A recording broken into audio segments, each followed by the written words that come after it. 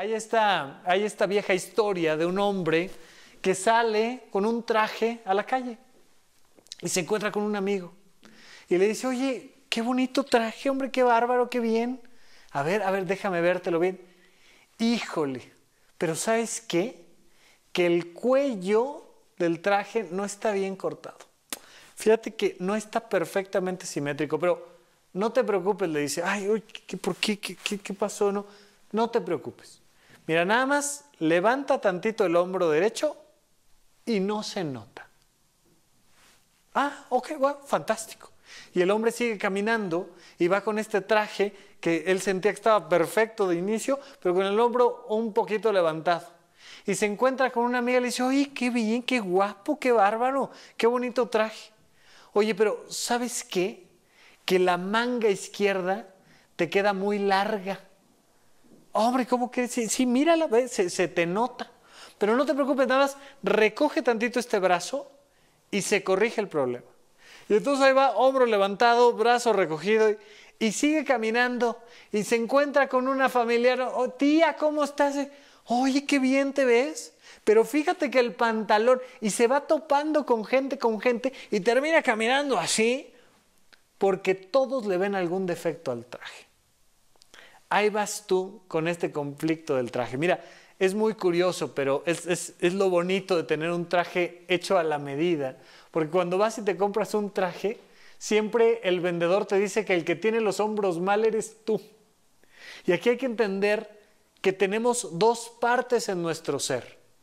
La percha, ¿no? el cuerpo, la genética, la esencia y lo que te vas poniendo encima. Y es más fácil considerar que vas a cambiar lo que te pones encima que lo que, lo que traes de esencia. Pero necesitas irlo descubriendo poco a poco. Pero sobre todo, no solo descubrirlo, sino aceptarlo. Por eso te pregunto ya, ¿hay algo de tu ser que haya sido criticado desde tu más temprana infancia? Puede ser la forma de tu cuerpo, ¿eh? Que ya sabes que se le permite mucho a los niños agredir y juzgar a sus amiguitos, a sus compañeritos, por cualquier cosa. Y se ve como normal, como están jugando, hombre, o sea, no pasa nada. Y entonces, ya sea por tu estatura, ya sea por flaco, por chaparro, por gordo, por blanco, por negro, pero algo de tus características físicas no está bien. Fíjate, el que no está bien eres tú.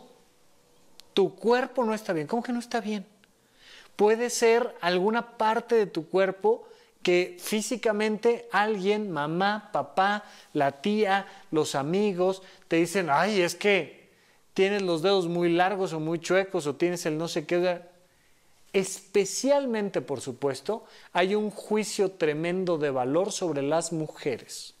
Vivimos en una cultura donde el físico de las mujeres es altamente criticado y donde critican tu esencia.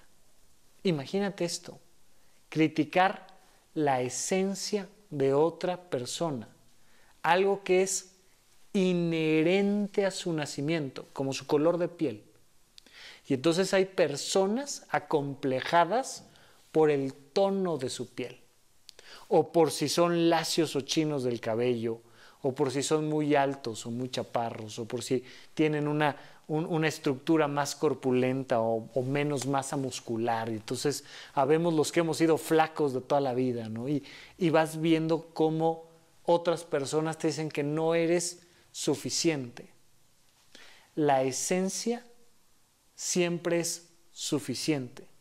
La esencia siempre es algo que hay que observar, descubrir, describir, apreciar, cuidar, fomentar.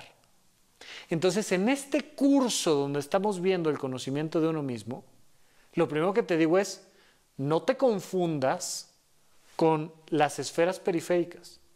Porque si te confundes con las esferas periféricas, le vas a dar demasiada importancia a lo que opine los demás de ti. Vámonos al centro y pon tu yo al centro. Y de base, en este círculo grande que te pongo en el esquema de esta sesión, está la esencia de quien sí eres. ¿Quién eres? Entre otras cosas, eres tu esencia, eres tu código genético.